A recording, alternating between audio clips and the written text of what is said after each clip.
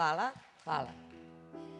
Sljedeća skladba je moja najnovija skladba, s njom ću ići na Krapinu 2007. Nadam se da će vam se svidjeti, ovo je moje prvo izvođenje javno. Još čuti miris nekog boljeg vremena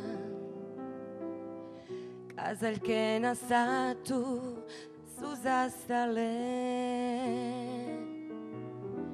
Još osjećam pogled, korak poput pelina. Kad si rekao da gotovo je sve. Život prolazi kraj nas. Ako te i sretnem to je krado. Tako bih htjela ispustiti glas Pa nestati neprimjetnim tragom.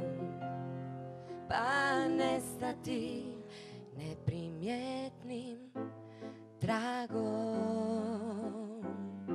Neprimjetnim tragom.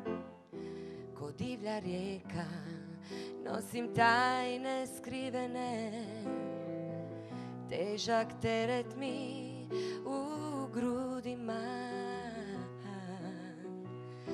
I kao na filmu u kojem život uzdiše Ja umirem sa glavnim glumcima. Život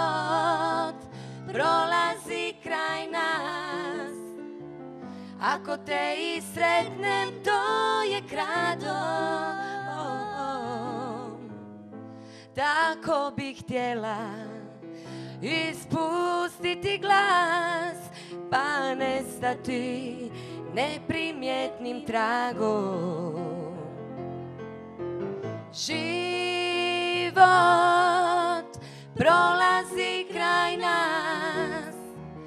Ako te i sretnem to je krado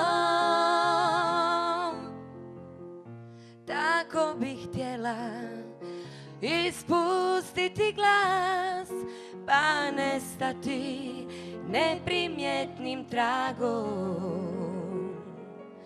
Pa nestati neprimjetnim tragom